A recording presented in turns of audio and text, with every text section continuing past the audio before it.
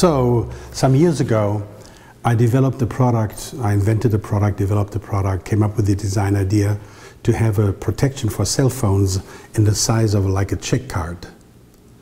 And I called it Safer Cell Phone. And it became quite known and quite successful. I was surprised, happily surprised. And at this time, I promoted it, I invented the name Safer Cell Phone, and I promoted it and we sold it for $395, right? And once it was sold out, the successor model became the Shield.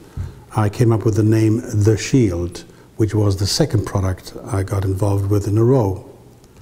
Um, the third product now I just released is called Protect Pro.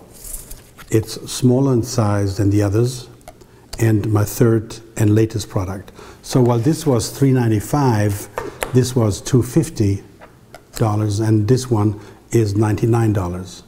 It was one of my targets to get the pricing down so that everyone can more or less afford it and uh, people get into a healthier mode when using the cell phones. We can't stop the cell phones anymore nowadays. We can't stop them.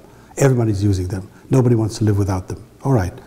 So there are two types of frequencies on this planet, pro-survival and counter-survival.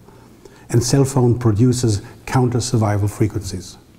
As we cannot get rid of them, we have to modify, improve the counter survival frequencies and turn them into survival frequencies.